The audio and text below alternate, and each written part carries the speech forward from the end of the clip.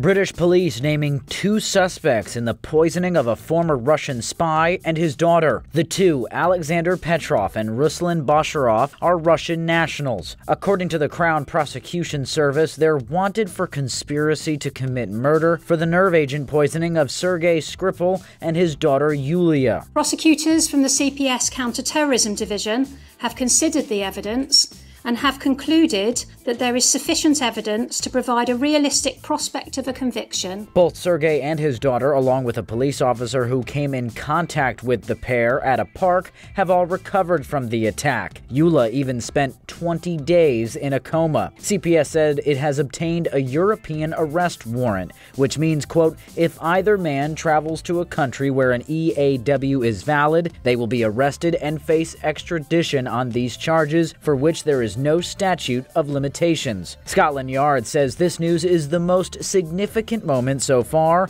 in what has been one of the most complex and intensive investigations we have undertaken.